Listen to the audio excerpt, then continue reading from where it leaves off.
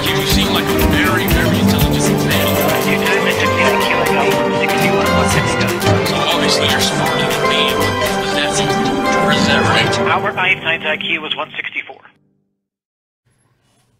Hello, everybody. The King Source here, back with episode 10 or chapter 10. Some said to call them chapters, whatever. Episode 10 of where every MLB team stands and what they need to do moving forward. Today we're talking about the St. Louis Cardinals. But first, please remember to subscribe to the channel, like the videos, watch them all the, all the way through. Really helps the metrics on my channel and all the sports channels. Now, before I really get into this, we need to talk about a couple of things. The Cardinals front office has been furious at some of the rumors put out about them this offseason. They filed complaints with the MLB. They are not happy. Here's why. Remember, I know a Cardinals reporter. I met him in Utah when he moved out there to cover some things for the Cardinals. He covered for over 30 years and retired in Utah, but is still in contact with the team and everything. He loves the Cardinals. Anyways, he told me he knows for a fact the Cardinals never talked to Carlos Rodon, were never after him. Same thing goes with free agent shortstops. Cardinals were furious they were connected to them. They were never spending big money this offseason, okay?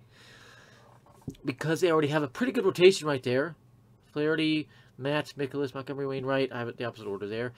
Uh, that's a veteran rotation. It's a good rotation.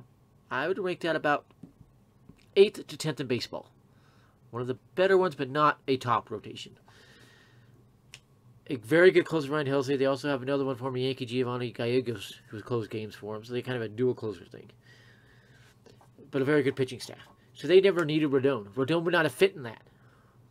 Okay? Once they got Montgomery, Rodon was gone. They weren't even going to talk to him. They never did. Never contacted his agent, in fact. This is pretty much the same team they had last year. Okay?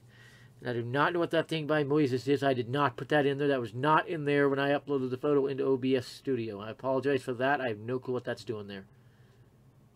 That is bizarre. Well, at least we can see his name and we can do the video. Anyways. With the lineup, you can see a couple guys that have been talked in trade rumors are in their lineup. Everyday players. Okay? Starting with center field fielder Dylan Carlson. Then you look down the right field, Alec Burleson. These guys have been talked about in trade rumors, yet they were never going to be traded. They were never going anywhere. There's another thing Cardinals are furious about. They're not moving these guys. They never included them in trade talks. They were never after Juan Soto either. Keep that in mind. so the Cardinals have not been happy this offseason. They've not been happy since last trade deadline about the rumors thrown out about them. That said, they did add a big bat in Willson Contreras. That was their big offseason move, the catcher there. Yeah, it's a third right-handed bat in that lineup. They need Carlson and Burleson really to step up their left-handed bats. That's why they can't trade these guys. They can't move them. They are their left-handed power bats. I think they'll be fine. They're both to hit 20-plus home runs, probably bat 275 to 280.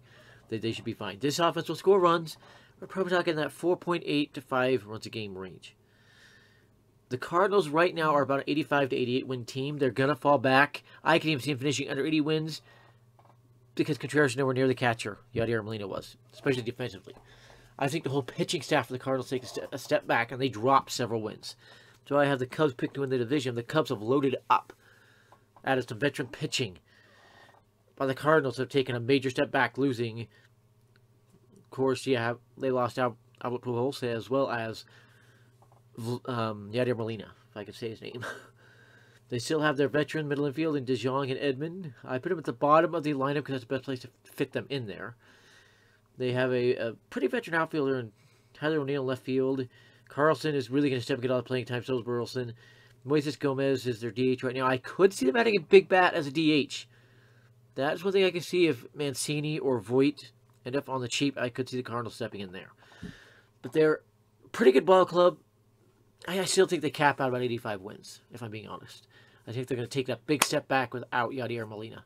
The whole staff will as well. This has been the King Source's Look at the St. Louis Cardinals. Hope you had a fun time. Have a great day, everybody.